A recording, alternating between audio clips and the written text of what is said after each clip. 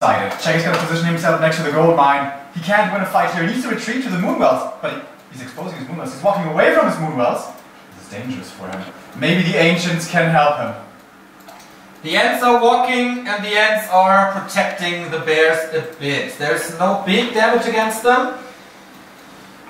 Offering your Eternity he kind of won his game against uh, Lord where it seemed like he had lost that game. Doesn't want to fight against the Ancients. Exactly. Lord Lyot showed him, don't fight against the Tree of Eternity. He takes out the Lord first.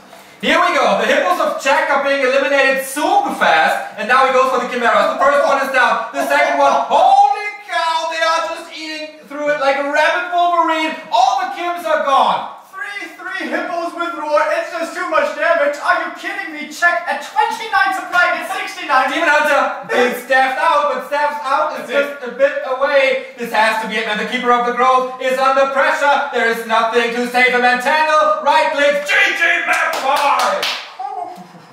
Alright, alright, alright, guys. Hope remains alive, hope remains alive. We are going full distance again. Damn, I thought would go for the Rhyme there. Sorry, I missed it. Hope remains alive, we go to map 5, you know, but no, whatever. Foggy was against the ropes, but he fights back. He's back swinging. And we go full distance in the second semi-final as well.